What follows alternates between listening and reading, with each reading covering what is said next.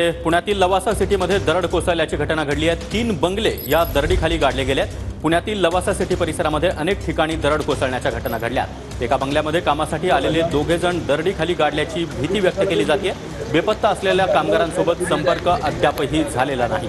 तर लवासा सिटी परिसरातील ही दृश्य आपण पाह- पाहतोय. दरड कोसळलेली आहे. या दरडीमध्ये तीन बंगले खाली गाडले गेलेले आहेत आणि या बंगल्यामध्ये कामासाठी आलेले दोघे जण अद्यापही बेपत्ता आहेत. त्यांच्याशी संपर्क साधण्याचा प्रयत्न केला जातोय. मात्र हा संपर्क होऊ शकत नाही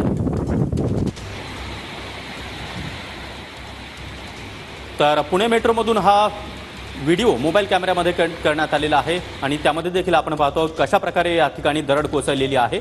आणि पहिली दृश्य आपण पाहतोय लवासा सिटीमधील. या ठिकाणी देखील दरड कोसळून तीन घरं तीन बंगले या दरडीखाली गाडले गेल्याची माहिती मिळते आहे. त्यातील एका बंगल्यामध्ये सध्या इलेक्ट्रिक गोष्टींचं काम सुरू होतं. त्यासाठी काही कामगार या ठिकाणी आलेले होते.